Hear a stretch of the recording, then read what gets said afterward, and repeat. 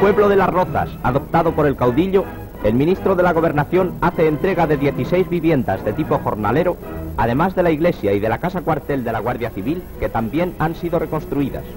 El obispo de Madrid Alcalá y otras autoridades eclesiásticas y civiles asisten a esta ceremonia, donde se revela una vez más la política de realidades de nuestro caudillo y de sus eficaces colaboradores.